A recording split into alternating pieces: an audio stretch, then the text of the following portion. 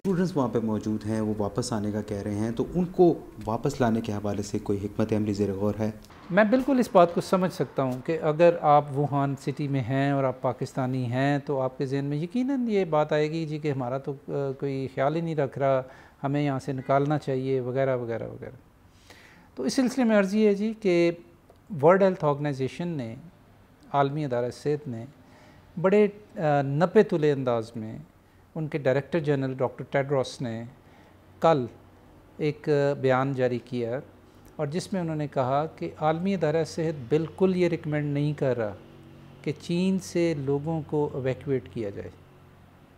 اس لیے، اب یہ پبلک ہیلتھ ہے نا، اس لیے کہ اگر ہم ان کو ایویکویٹ کریں گے تو ایکچولی ہم خود اس بات کا سبب بن جائیں گے کہ یہ بیماری جو ہے جہاں نہیں بھی پہنچی وہاں پہ پوٹینشلی پہنچ جائے۔ اور جب جتنی یہ پھیلے گی، اتنے زیادہ لوگوں کو متاثر کرے گی اور یہ پھر جنگل میں آگ کی طرح پھیل سکتی ہے۔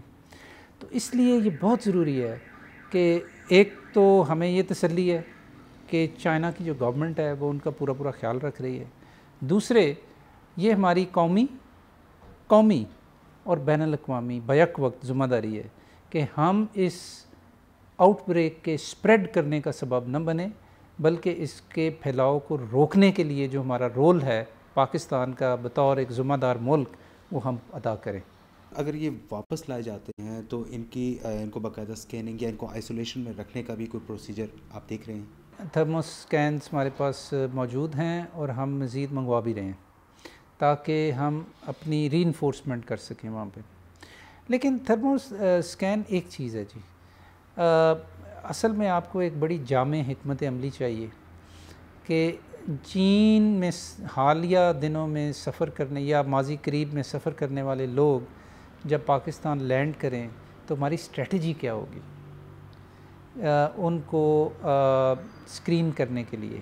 Thermo scanning is one kind of screening تو اس کے کئی سٹیپس ہیں اور وہ ہم نے بڑی ایک سوچ سمجھ کے ایک جامع منصوبہ بندی اس کے لیے کر لیے صوبوں کے ساتھ شیئر کریں اور ہمارا یہ خیال ہے جی کہ اس کو اگر ہم امپلیمنٹ کر پائے تو انشاءاللہ ہم پاکستان کو پروٹیکٹ کیے رکھیں گے اور اس بیماری کے پھیلنے میں اس کے، اس بیماری کے پھیلاؤ کو روک سکیں گے پاکستان میں۔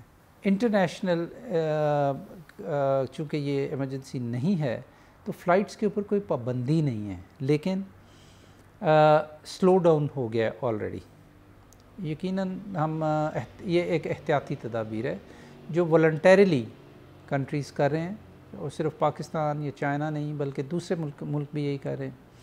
تو پابندی نہ ہونے کے باوجود اس کے اندر کچھ یعنی تعطل یقیناً آیا ہے اور جو کہ میرا خیال ہے کہ ایک اچھی بات ہے۔